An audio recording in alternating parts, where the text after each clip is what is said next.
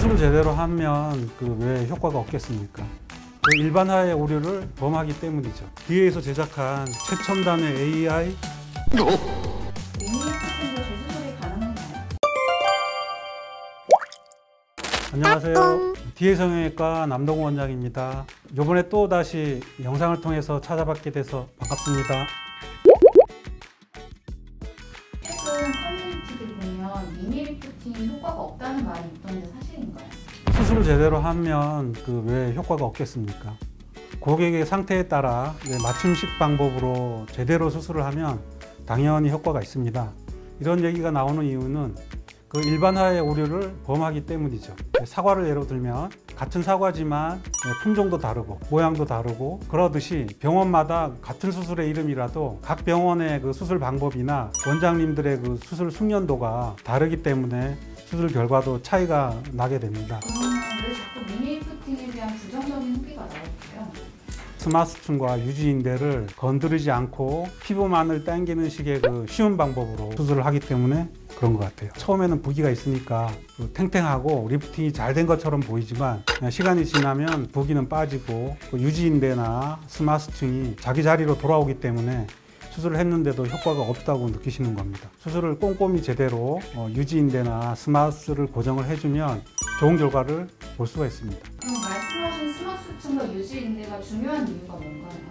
여러분의 이해를 돕기 위해서 그 피부층의 단면도를 가, 지고 왔는데 DA에서 제작한 최첨단의 AI 이게 일단 표피고요. 목욕탕에 가서 이태리 타올로 밀면 국수처럼 나오는 게 표피입니다. 그 표피 밑에 진피가 있는데 칼에 베이면 피가 나는 부위입니다. 그 밑에 지방층이 있고요. 근육이나 인대층이 있고요. 단단한 조직이 이 네 개의 층을 이렇게 잡고 있습니다. 물론 약간의 유동은 있죠. 그 유지인대라는 거는 인대에서 더 이상 피부가 중력에 의해서 처지지 않게 기본적인 지지력을 유지를 해줍니다. 근데 이 지지력이 그 거상을 할 때는 이 땡기는 거에도 저항을 하고 있어요. 더 이상 당겨지지 않으면 리프팅도 그 이상 되지가 않죠. 좀 나이가 드신 분들, 피부가 많이 남는 분들은 유지인대를 여기서 끊어줘야 많이 이렇게 당길 수가 있습니다. 그럼 미니 리프팅으로 효과를 볼 수 있는 부위는 어떻게 되나요?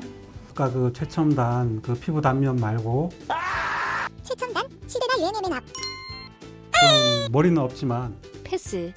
미니리프트로 좋아질 수 있는 부위는 팔자와 볼살, 그다음에 턱 라인 뭐 이런 부위를 주로 많이 하고요. 그 눈밑 주름이나 눈가 주름도 미니 리프팅으로 어느 정도 효과를 볼 수가 있습니다. 이 레이저나 뭐 이런 시술을 같이 하게 되면 효과가 배가가 되고 지속 기간도 오래 갈 수가 있게 되겠죠. 어, 이중턱이나 턱 윗살이 후덕한 경우에도 미니 리프팅 효과가 있을까요? 미니 리프트 단독만으로는 좀 어렵고 추가로 뭐 지방 흡입, 큐 레이저, 스틱 레이저, 선이나 이쪽은 귓볼에서 V자 절개로 미니 리프팅과 같은 효과를 낼 수가 있습니다. 그래서 저희 병원에서는 V 리프팅이라고 하고요.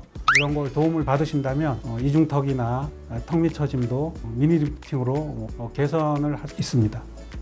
미니리프팅과 안면 거상의 가장 큰 차이점은 무엇인가요? 절개 부위의 차이고요. 미니 리프팅 같은 경우는 이 관자 부위에 한 1, 2cm 최소 절개이기 때문에 흉터 걱정이 없고 수술 시간도 실제로 3, 40분 정도면 끝나는 거기 때문에 다음날 일상생활이 가능하고 피부만 당기는 게 아니라 표피, 진피, SMAS, 인대까지 고정을 하기 때문에 작은 절개로 그 최대한의 효과를 보려고 하는 수술입니다. 안면 거상은 절개가 더 들어가야 되거든요. 미니 리프팅 절개 플러스 귀 앞쪽 절개가 들어가야 됩니다. 귀에 보면 요 요런 그 오목한 부위나 그런 그 골 부위를 따라서 절개를 하기 때문에 그 절개 흉이 그렇게 많지 않게 됩니다.